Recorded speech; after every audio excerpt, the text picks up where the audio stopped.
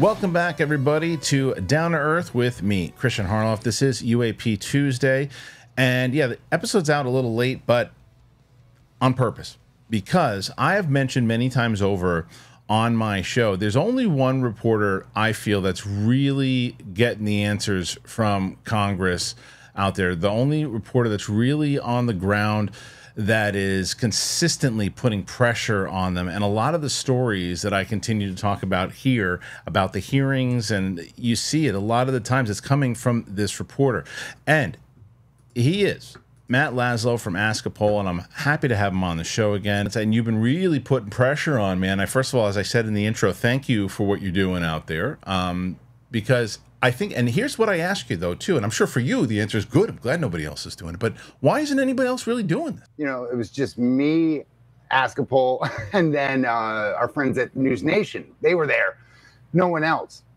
Well, then it was interesting. Two or three months later, they had another briefing, and that one you had Fox News, CNN, right. uh, Washington Post, uh, The Hill. So you had all these other organizations, and that's where they're watching what we do and the more that they see us crash the internet with scoops that they could have because they've got teams of right. dozens you doing this. It, is that the reporting. case though? But man, yeah. is that the case really though too? Because like look at look at like when you talk about News Nation, what they did when they covered with Grush, right? Like you look at News Nation's YouTube channel. This is a YouTube channel, and the clip outs yeah. when they're covering Trump, when they're covering um, Biden, Harris they're not getting the types of you know yeah. views that CNN or or Fox is getting but they cover UFO stuff and it's through the roof. Um, and they they stopped and they pulled back a little bit more. Um, they they're starting to cover it more, but they were covering it like excessively during that time.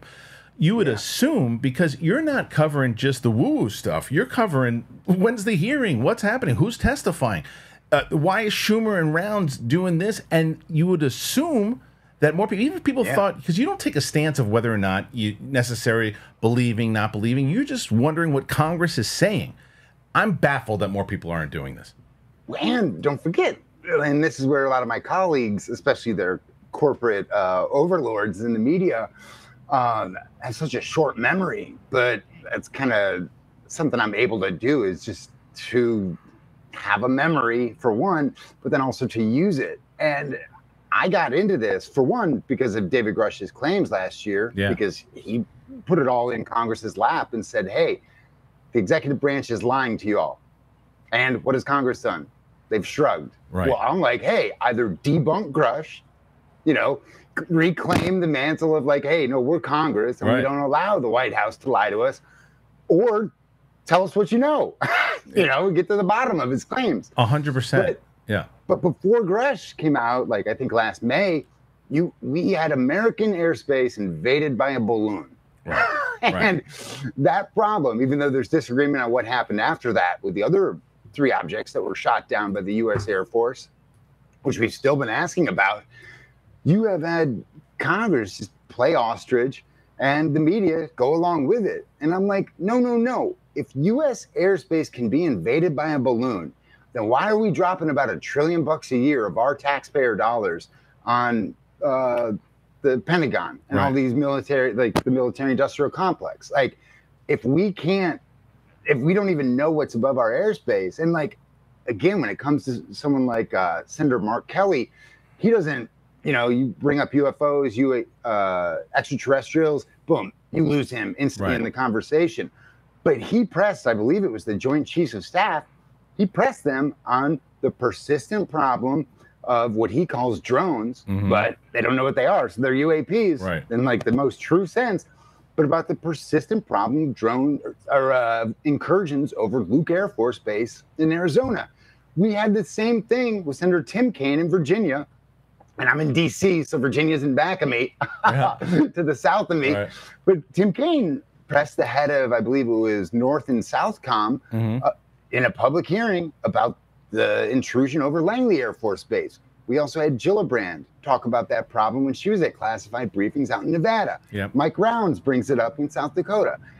A lot of them are convinced this is just foreign adversaries. Like, that's wild. Right. So they think, like, especially Mark Kelly, he thinks America is now regularly and persistently and consistently our airspace is invaded by foreign adversaries because he thinks it's just drones. Sure. Well, sir, get to the effing bottom of that. Right. Like, we stop everything else until we get foreign actors out of our airspace? Right. And then if they investigate it more, maybe we'll actually find out what they are. Because for now, Pentagon doesn't even seem to know. No, it doesn't. No, no, and, and that's insane. And what's insane to me is when because I listen to all your interviews and I listen to everything that you've been, uh, the stuff that you when you're pressing them on. And the thing that I find kind of concerning is even the people that are really deep into this thing, right? Like you just talk. So who's it? Is it? Is, so who's running the next hearing? Nancy. Um, Nancy Mace. Thank you. Nancy, Nancy Mace is, is running the next hearing. And I liked her answer. Obviously, is I need to get people on this list who know some shit. Right? I know I, that's like yeah. fact, that's a good answer. However, yeah. the fact that she doesn't know the name of Tim Gallaudet is a problem. That's a problem. Well, well, so in her defense, there, she was telling me she wasn't using names oh, on okay. purpose. Okay. The, the community kind of outed Tim, like, sorry, bro. Yeah. Um, but that's where I think so she was trying to keep it quiet. That Luna, yeah. She's actually got the name of another person who she wants to come okay. in. Okay. And that's where in that last okay. one we kind of go silent a couple times. Yeah. Because she's telling me the name of one person. Okay. But Gallaudet, I believe, is the person who um, the UAP caucus. I believe Luna and uh, Congressman Tim Burchett want uh, Gallaudet. So yeah. she was trying to not release their news. Okay. But yeah. I understand. Okay, that makes sense. Because I had him because I, I, he he was inevitable only because I had him on the show, and Matt, I asked him point blank. I said, if they ask you to testify, would you do it? Within seconds, he said, I absolutely would. He didn't hesitate at all. He said, I absolutely would. And that's the type of guy that you want up there talking about. And there was yeah. other. Do you? Do you, are you hearing? Are you hearing names right now? The people that are coming in to testify. And how? See, Let me let me start with this because you got the the story from Gillibrand saying that this one hearing is going to happen my personal opinion is this that this is kind of a cockamamie uh, AARO hearing of look who this new pawn is and and it's, it's over gonna, in the Senate. Yeah, it doesn't. It, I don't take any merit to it. It's the it's this one that you're talking about um, with whether it's Gallaudet or whoever. That's the one. It seems like they want to blow the lid off of this thing. Are you hearing yeah. any names that you're like? Really, because I'm hearing Karl Nell, I'm hearing um, Lacatski, I'm hearing a bunch of people. So, not allowed to say who I've heard. And last I talked, well, so Mace, she says it in our interview, which is at askthepoll.com. She says they had to actually move the hearing from September to November because of this person's schedule. Okay. And even though Gallaudet is a veteran, she really wanted um, another perspective uh, there, you know, very much from the armed forces because she's a veteran herself. Yeah. And um, I think there, the one thing that stands out from that Mace exclusive that we dropped last mm-hmm. week is she, um, she says herself, and then she stops her, but she goes, "Yeah, it's kind of going to be a grab bag," because I think she wanted One Direction with you know UFOs right. in the sky, yeah. and then you had um, uh, Congresswoman Luna. She'd been telling us for months at USOs, yeah. that she wanted to focus on USOs, yeah. and so it'll be interesting because even for Burchett, he's told us, you know, one of the co-chairs yep. of the UAP caucus, he's told us for months that he doesn't think the point of these hearings should be making their case. He more wants to really get into the reason the executive branch is being so secretive, and he wants to really blow that up. I think there's disagreement because some of the other members, especially Mace, who she kind of comes at it with like, hey, I've got to really make the case, especially right. now that I've got the galley or the um, the gavel and that it's her hearing. She's like, I still need to make the case for one to a lot of my colleagues in the Republican Party, mm-hmm, yeah. for two to a lot of her constituents because sometimes they get accused of you know wasting time. Why are you doing this? So she really wants to make that bigger case where other people in the UAP caucus are like, hey, the case has already been made. You know, let's just get sure. to brass tacks. And yeah. so, because Congress has been derelict of duty for 50 years, you're going to have those disagreements and people are going to be coming at it at different paces.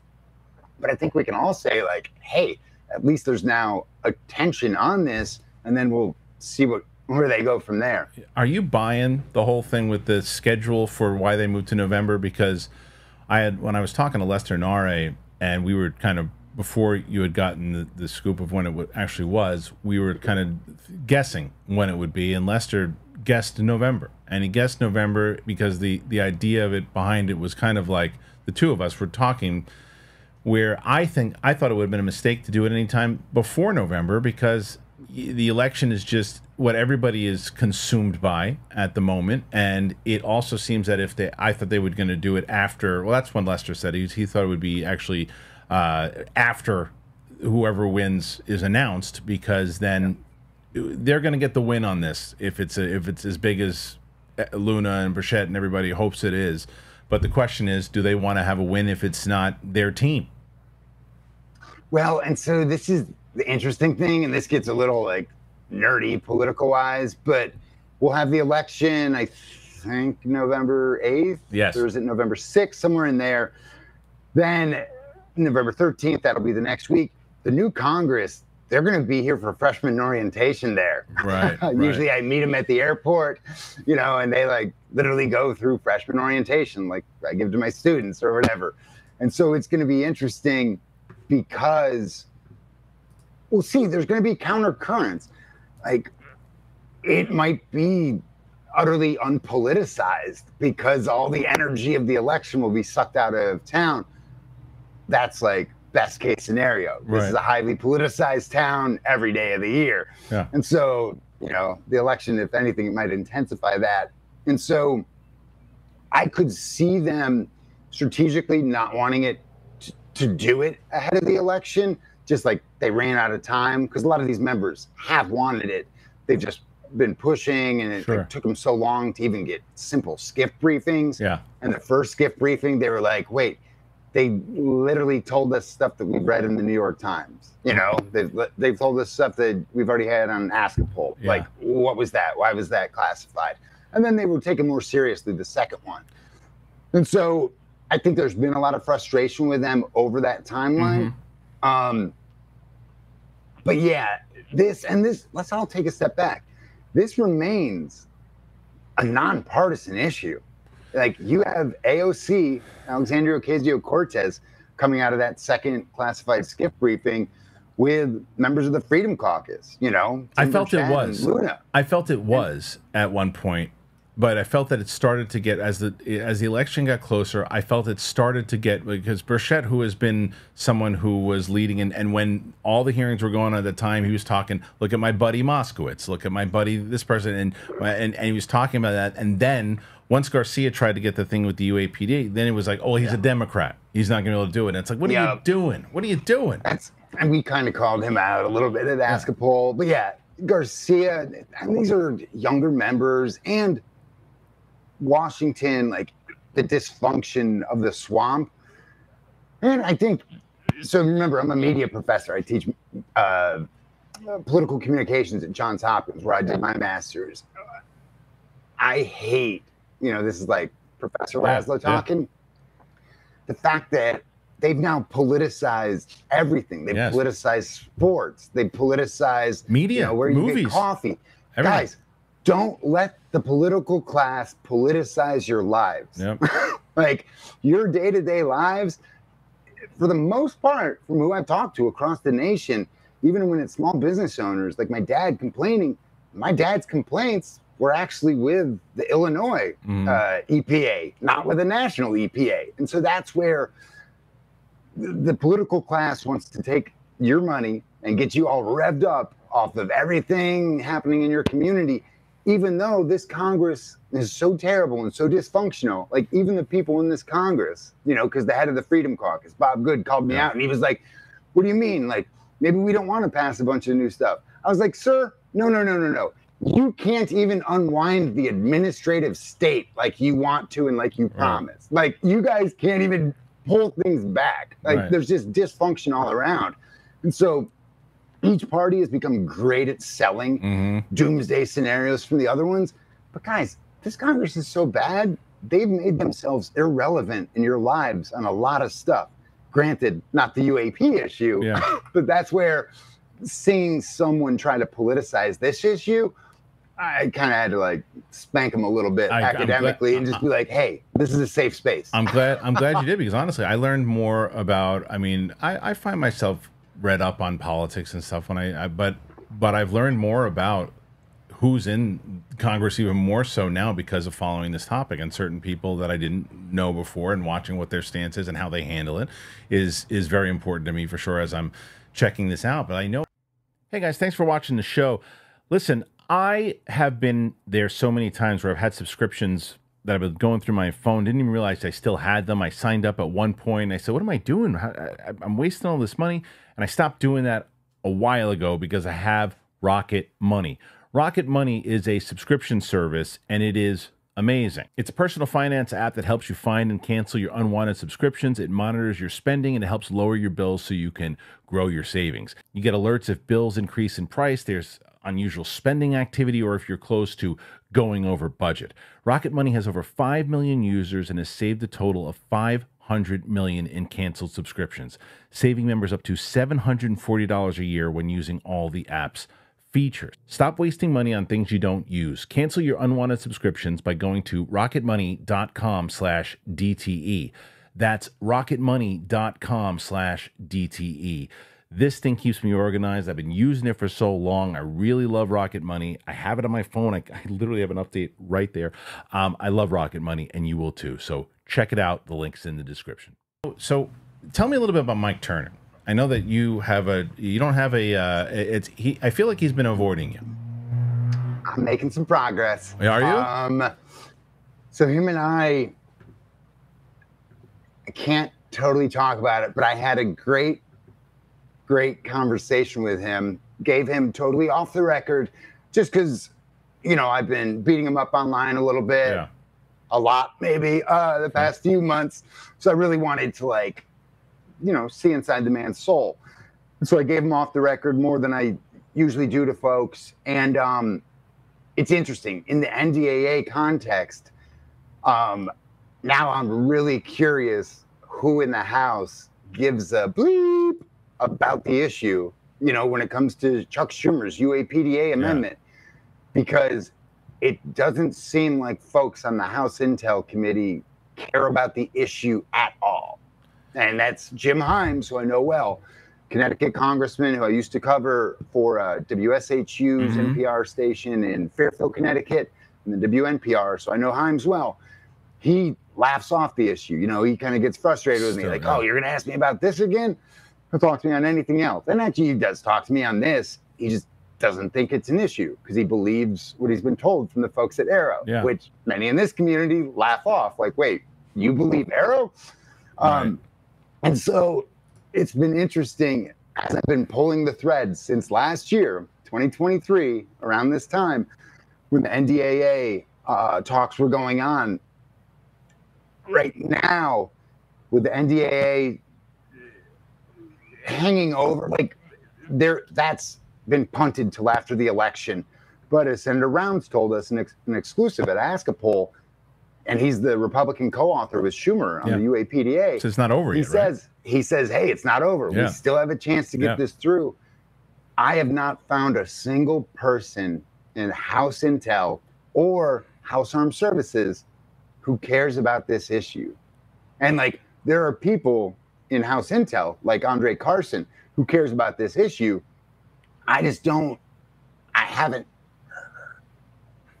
It's a low. He it's a cares low about priority. this issue. Uh, yeah. He's not trying to gut Schumer's UAPDA. Right. And so, from the principles, and this is where I'm now very curious whether it's one of the chiefs of staff or whether like who's in the background because when you have members especially powerful members who don't care about an issue but that their committee has jurisdiction over doesn't mean that their committee stops having jurisdiction. Right. It just means that someone else is going to have their voice heard.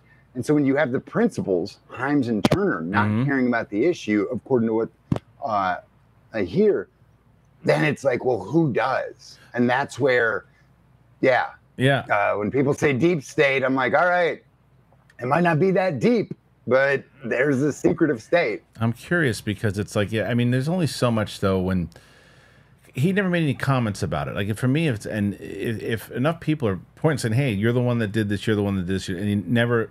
If, if I didn't give a crap about the the issue and people kept saying, "Hey, you're the one that did this," I'm like, I, I don't care enough about this. I, it wasn't wasn't me. I mean, make make a comment about it. There's been no yeah. comment whatsoever. And there's also the Mitch McConnell, McConnell uh, rumors or someone around the side. So whatever it might be, it's like someone clearly is trying to hold back on it. And I ask you this because in after all the Grush stuff happened at the end of the, year, they, they, well at the Sol Foundation they made this whole big thing. Gallaudet's another one who was speaking at it, and and they made a whole big thing of how the Schumer Rounds bill was going to be the thing that kind of just started it all, and they were banking on the fact that it was going to pass in its current form last year, and it was gutted, didn't happen. So in January, January happens, and in both it was Lou Elizondo amongst others uh, said 2024 is going to be a big year. Hang on to your hats. And, and James Fox was another one who made that mention. Yeah. Well, James Fox has this, this documentary coming out now in um, the program, which is right. really covering what's happening inside of Congress with all of this. What do you know about the doc? Do you know anything that is going to be? And if you don't know anything about it, is it? Yeah, I don't. Is it strong enough? Do you think that it, that it could actually move the needle? That t- maybe something new comes out, or so some whether it's a new whistleblower or anybody else too that appears in this hearing that's supposed to happen in November. Well, and don't forget that the biggest complaint uh, that this Congress, Republicans and Democrats, bicameral, both sides of uh, the Capitol, the biggest complaint they've had with AARO is, you know, like Marco Rubio, the vice chair of Senate Intel, he kind of said it best in an interview with us at Askapol, where he's like, was so frustrated with Kirkpatrick because he's like, we have whistleblowers now, like hitting us up in Congress. He's like, this is the reason we created AARO. And they, like at the end of last year, uh, Mark Warner, the chair of the Senate Intel Committee, and Mark Rubio, the vice chair of Senate Intel, they went and had a meeting with Kirkpatrick one on one, or three, all three of them, and they were pushing him like, hey, you are failing at your most basic duty. Whistleblowers are hitting us up because they don't trust you. Yeah. And so, and then we also reported that Senator Rounds met one on one with Kirkpatrick. Gillibrand, she met one on one with Kirkpatrick, pushing him on this. And so that's where we know there are a lot of whistleblowers who've been lining up to tell their stories. They just don't trust AARO. Right. And so that's where, like Kirkpatrick and his kind of like uh, little tour to like heal his name. Uh, is such bullshit. Yeah. Absolute bullshit. Because no, no, no. You were told by the people who created you that you were failing. So you can't go out there now and be like, oh, there's no there there. You didn't even hear from the witnesses that Congress has heard from because they don't trust your agency. And so that's where it'll be interesting with Senator Gillibrand. Right. She says she wants to have, and she says it's scheduled a November hearing with AARO. it's interesting because what she wants to do is for them to go through and say like hey this is how we've identified all of these so it's damage and control she also wants them to say this is why we haven't been able to identify all of these objects yeah. and so i doubt within this community it's going to really change any minds but it might but it's going to be interesting to see their metrics and what her and other senators who really feel some ownership like AARO just popped up and was just created a couple years ago. So like in many senses, Gillibrand's got kind of like a motherly relationship. Like she wants this thing to work. Yeah, it's their baby. Right. Um, and so like they still have a little bit of hope and faith that AARO can do what they set it up to do. And so it's going to be interesting to see inside their minds, um, especially the minds of the new head of AARO, because the whole question becomes how much information does AARO get? I don't think like, AARO. We believe the people at the top of the Pentagon are giving them full access to everything. I th- I think AARO has lost their credibility. I think Arrow AARO yeah. is essentially MoviePass. If you you know, it, it's like nobody you can't you just can't take them serious anymore. And I think I feel like that's what this hearing is. It's kind of like a PR fix. Like you know, it's like let's and and I don't think anybody is being fooled. At least people who are following this, it'll be one of those things where, yeah, if you if you don't follow this topic and you're reading through and you're like, oh, there was a hearing with AARO and and and this type of thing. Well, that's where that one might be a good one for your folks uh, who are watching, because um, Gillibrand, sorry, me, this is my little congressional yeah. Facebook, but Gillibrand, she's the head of uh, the Emerging Threats and Capabilities Subcommittee. Yeah. So who do we have on that? Uh, Gillibrand, Senator Shaheen, uh, Senator Warren. So Shaheen's from New Hampshire, Warren from uh, Massachusetts, Peters from Michigan, Rosen from Arizona, and Kelly from Arizona. Uh, Republicans, you have Cotton from Arkansas, Mullen from Oklahoma, Budd from North Carolina, Schmitt from Missouri, uh, and then Ernst from Iowa.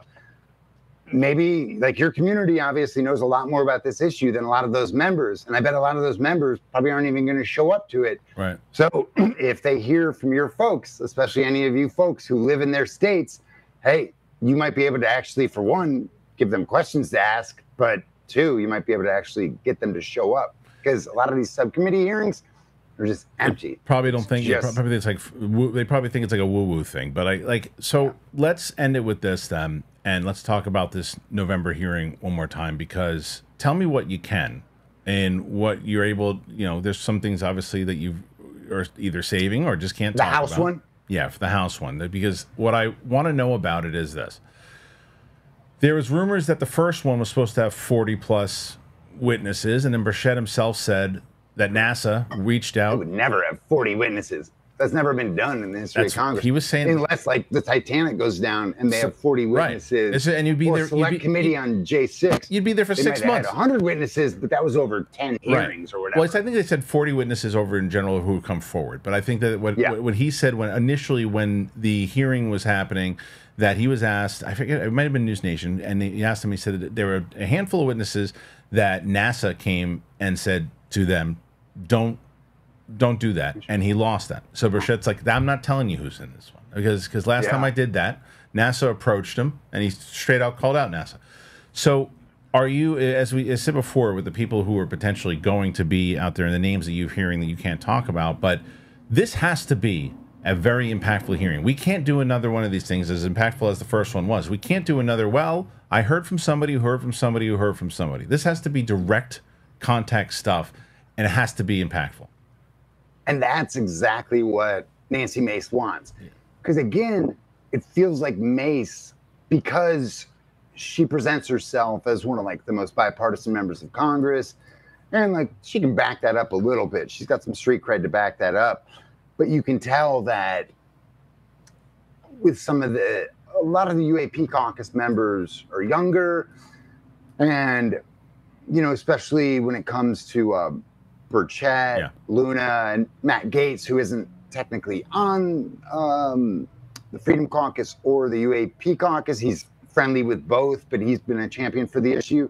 Like they're all used to being seen as pariahs, and right. so they're not trying to like convince the mainstream that like, hey, this is like something that's worthy of you thinking about. You know, they're used to being in their own bubbles. Right. Um, and so that's where Nancy Mace, she's really trying to, for one, legitimize her time and attention being mm-hmm. spent to the issue.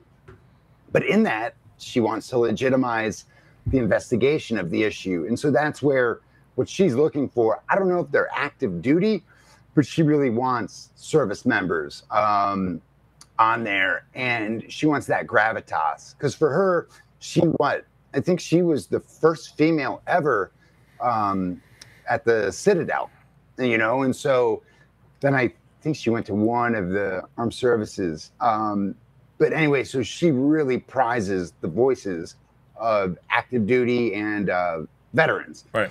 And so that's where she feels like they have more legitimacy. And so that's where that's definitely what she's going to bring to the table with a witness that she hasn't announced yet um, and someone you know higher up in the ranks, but I will let her announce their name.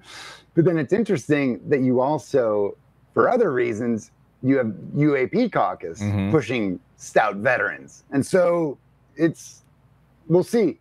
Um, they because it's taken so long. I bet each member has a list of ten or twenty who they like up there. Um, but they're going to have to winnow it down to the four or whatever. And that's where Mace is kind of like, all right, I'm picking one. They've got one or two that they're picking. Uh, and then it'll be interesting because then the minority party gets yeah. to pick someone. And we haven't dropped this exclusive yet on Ask a Poll, but the first time her Democratic chair or, or her Democratic ranking member, Gerry Connolly from Northern Virginia, who I have covered a ton over the years, and Matt has have a cell phone. He um, the first time he heard about the hearing was from Ask a Pol when I asked yeah, him about that's it. The big I problem. know that's the big and problem. So, and that's just the regular partisan BS yeah. because this falls under the umbrella of the oversight committee. Mm-hmm. Oversight committee, that's the one in the House that has been investigating the impeachment of Joe Biden right. that they now shelved. Right. That's now investigating an impeachment of Kamala Harris. So it's a hyper partisan committee. But if you all remember, the David Grusch hearing was hyper nonpartisan. Right. And so right. hopefully after the election, even though it's just a week after, yeah. hopefully, um, yeah, lawmakers just focus on what's known and what's not. Well, that is going to be a, very interesting to see. And I thank you again, Matt, for covering it all. And I, I do think that really before I let you go, do you do you think anything big? Do you think we're gonna? Do you think November is actually going to be impactful, or is it just going to be a lot of noise? What a lot of members feel, because again, it's going to be the end of this 118th Congress. But I think, especially the way Nancy Mace is approaching it, she wants it to be so much above approach. Yeah. That, or pardon me, that when they start the 119th Congress, her hope and the other members' hope is that they can just like the steam is already gonna already gonna be there in the sails, and a lot of them are also hoping it'll stay nonpartisan, and that they can just pick up where they left off with Congress that'll be coming in January and new presidential administration. So we'll see. We'll see. A lot of people yeah, a, a, lot of people are going to be watching. So, Matt, can you tell people if they want to come check out um, your site and everything too? Where, where, do they where do they go? Pol.com. Uh, you can find us on tweets. Um, but yeah, askapol.com. You can subscribe for free. All of our audio is free to everyone. But then we have some VIP perks for uh, paying members like hopefully the New York Post they're non-paying subscribers, but they've just been riding our wave. I was gonna ask. You, I was gonna ask you. I was gonna ask you, but I figured we'll let that, you'll let you guys do your Twitter battle there. I love it. Um, thank you once again for joining us here. Keep doing what you're doing. You are really the only person out there that is doing the the work that a lot of other reporters should be doing. So thank you, dude. Thanks for having us. All right. Appreciate see you, you. See you later, brother. All right, so there it is. That is Matt Laslo, and there's a lot going on there. Sorry for the some of the sound stuff there too, and uh, in the beginning there's a little hiccup, but such is the world we live in right now. We gotta we gotta make this on the move. So thanks for being here today. Thank you for our wonderful sponsor, Rocket Money, and thank you to you guys. Yes, a little bit of a shorter episode here today, but nonetheless, wanted to make sure that we got this information out. What do you think? Put your comments in there. Let me know what you think about these hearings. Thank you Really appreciate it, and we'll see you tomorrow. Bye bye.